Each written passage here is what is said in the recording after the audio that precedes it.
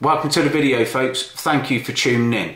I wanted to cover uh, the most common and frequent mistakes that I see on our site visits and when we track the data, um, when we get RIs or when our supervisors, contracts managers um, identify problems on sites. Now some of them are very trivial, some of them are minor, minor faults, even the, the grading or the scoring from NHBC would class that some of the RIs as quite low down on the uh, risk ratio. But they're very costly and that frustrates the life out of me. Something very simple to get right in the first place can end up being very costly it retrospectively when you've got to try and put it right. So with just a little bit of thought, a little bit of consideration, you can make your life so much easier and keep more of the money that you are earning in your pocket rather than just throwing it away, going to put right things that you could get right in the first place. So I've tracked the data across all of our sites and there's a common theme with the common things recurring, recurring, recurring. How I get the message across to everyone individually or collectively is a challenging part for me and hence I thought I'd do a YouTube video and I'd highlight some of the most common faults we find, what I would do about it if I was on a trail and what you can do about it if you watch this video uh, and hopefully apply it to your business, your gang, or you as a bricklayer. So I'm going to jump on the whiteboard. It's been a minute, I ain't done one of them for a while, but um, hopefully you find it useful and hopefully everyone that works for us finds it useful and ultimately you only get paid to do it once. That's, that's very simple. So the more time you spend laying and the less time you spend making good, the more money you will see in your paycheck at the end of each week, fortnight, month, whatever it is you do. So without further ado, I'll go through some of the things uh, on the whiteboard. Some of them won't be, but you'll catch a drift. Um, and we'll see if we can eradicate them from our business and we'll track the data. Maybe I'll revisit this video in a few weeks and see if we have uh, reduced some of these faults we're seeing. So without further ado, let's get on the whiteboard. Right, so here we go then. The most common faults we see in our business and I know what you're going to say, nah, we never do that. But you'll be surprised, bricklayers, 5, 10, 15, 20 years experience, still making the same mistake.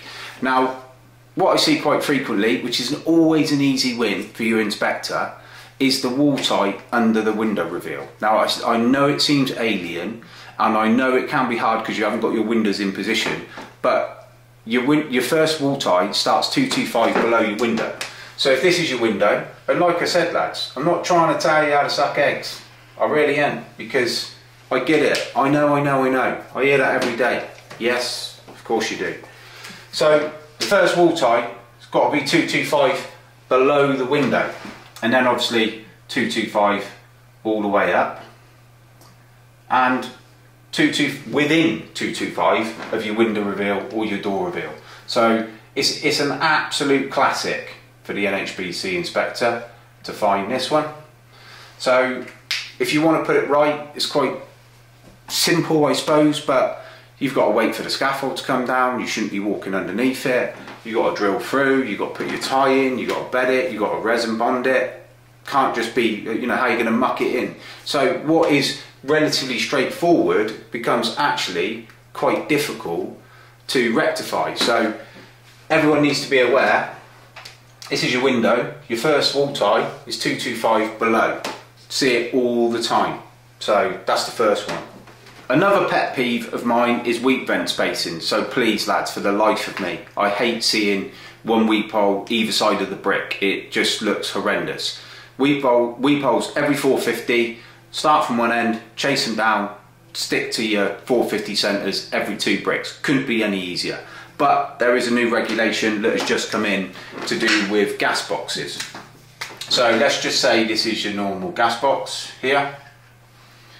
So normally you just space your, your weep vents across every 450, hopefully. But there's a new new regulation out and it's just on gas boxes, not on electric boxes, so just gas. So you have to have uh, your first weep hole a minimum of 180 mil from the edge of the reveal.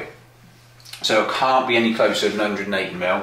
And then once you've set them, uh, a minimum of 180, minimum of 180, they can be no more than one meter apart, and it has to be two. There has to be two weep holes, minimum of 180, and no more than a meter across the two of them. So this is just on gas boxes. It's to do with the gas coming up through the service duct. It honestly pe penetrates the house, and if there was happened to be a, a gas leak or anything like that, and you've got weep holes across here, then it could come up and potentially fill the cavity. Someone lights a fire and the house blows up. All right, I know it's very unlikely, but that's the, that's the, uh, the, the theory behind uh, this new regulation. So minimum of 180, minimum of 180, maximum of one meter between the two, and if you do it like that, it actually works four bricks in between and it's perfect. So, but that's coming in, that's in now. So um, just on gas boxes, don't go doing it on electric because you'll be chopping in weep ends and don't fake them either. Right, another one which is very easy to get right and very hard to rectify is the party wall tie spacing. So it's 900 mil. There's no sort of maximum or minimum. Uh, it can't be 890 and it can't be 910. It, I know it's difficult and I know when you put them in and you lay the block and they wiggle around a little bit, but just take your time to once they're bedded in just to just to adjust them. I'm sure if you mark them on the wall, then you, you know really shouldn't be too much movement in them. But it's not it's 900 mil, so let's say that's a block, 900 mil. it's pretty simple really. If you start on a perp, um, shouldn't be any too much of an issue really. So what you need to do is just chase your wall ties round. So every two blocks you can put them in. So then obviously you need to come in the centres and you don't put this one in unless it's 900. Don't think, oh, we need to put a wall tie in and say it's at 675. You cannot break the 900 mil rule. So that is quite straightforward if you just set it out. But if you start getting them wrong, you're having a nightmare because you can't just move one because then it breaches another one or extends another one. So just stick to your 900s, chase them from one end, and then if, if the last one's going to be 870 or whatever, leave it out, omit it. That's cool. Just stick to your 900s and chase it back round. And you'll be golden. You won't have to be drilling through, moving ties and all the rest of it. Very simple, but very costly. Another one which is often picked up on CML. Uh, it's not actually looked on in pre-plasters. So in CMLs, they go into the roof space and they check the loft. And that is quite often when they will see the restraint straps in the gables. So we've worked on a few of our sites with the carpenters and we've actually had a gauge rod made um, with blockwork gauge so they can sit on our blockwork course and then they can adjust their restraint straps um, to block gauge. So when we're coming up the gable, they work to a full block and they sit on there. NHBC don't want to be seeing half blocks or cut blocks. Uh, so bit of communication, check them before you go up there. Just measure them. Everyone knows blockwork gauge, multiples of 900. Uh, and it's pretty easy to work out really. So one of our chippies even made a gauge rod, uh, 2.6, 2.7 long, whatever it is, uh, with a hinge in the middle, he can fold it up, chuck it in his van. So every time he comes to his gables, all the block work it can go up gauge and all the restraint straps work perfectly and actually saves you time. And if you get these wrong, now they are a tough one to put right. NHBC want to see it behind a full block and if you don't get it right first time, you're not really going to put it right. It's incredibly difficult to do. So speak to your chippy carpenter, make up a gauge rod between you. All we done is we just marked the gauge rod up in multiples of 900 and then we made it the same, we made it work blocks from the top and the bottom so it could be upside down, they weren't going to get it wrong and we put a hinge in the middle of it and happy days, uh, all our blocks were, all our straps work perfectly block gauge. Really useful tip and saves you a lot of time, you ain't got to nick under it and put a piece in and make it solid save you a lot of time that will.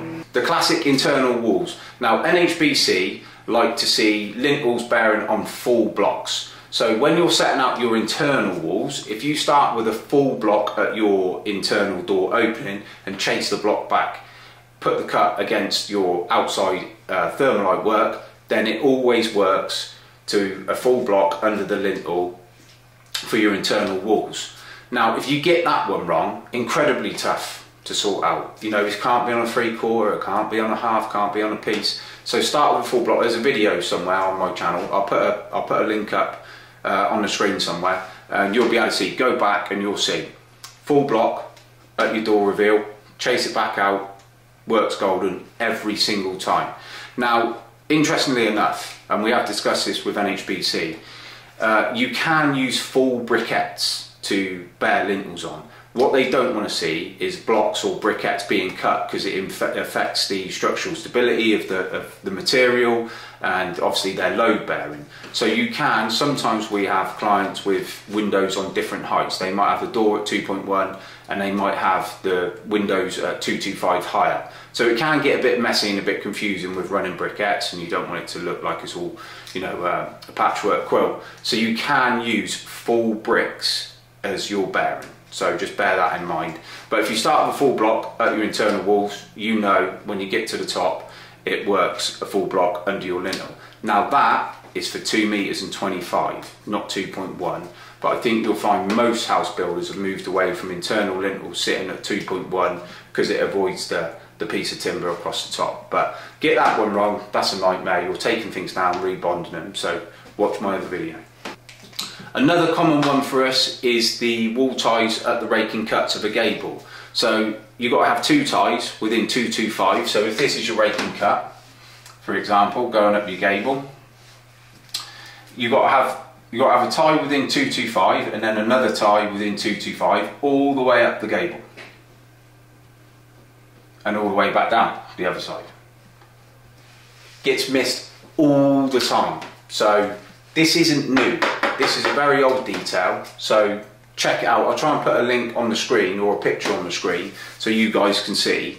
Uh, but again, right pain in the ass to, to fix this one. So just measure now, pop your tie in and then another one within 225 of that as well. So you should see your gable tied in all the way up both sides. And when you get into spandrel panels, you're even supposed to have a tie across the bottom in the last course of masonry with wall ties at every 300. Again, that's something we're very hot on. We have had some gables fall over a few years ago, which were ironically down to restraint straps. But ever since then, I've paid close attention to to the gables because God forbid anyone ever gets hurt. But um, fortunately, that wasn't our fault. Unfortunately, no one was hurt. But um, again, it's quite a common one. So keep an eye on your wall ties running up and down your raking cut. Inspectors are getting hot on that now. Hopefully you found that useful. So like I said, they're the most common things that, uh, that myself and the supervisors see across the board. And we obviously pay uh, close attention to these items, but we're not going to capture it all. So if I can try and get the information out to the lads, then hopefully it will see a downward trend in, in some of these things. So I'm going to keep tracking it revisit it, like I said, and then uh, see if there's a downward trend. See if anyone actually pays any attention to what I say. Probably not. So I'm moving this weekend, so I'll get some footage of the, of the house uh, before I move in, before it makes a, before it looks a mess. Uh, almost there now. It's Friday the 13th, so ominous day to move in. But hey, yeah, suck it and see. I'm sure it'll be alright. Um, but as ever, thank you for watching. If you found this useful, please give the video a thumbs up. If you didn't, maybe abuse me in the comments like you normally do. So peace out, see you next time out.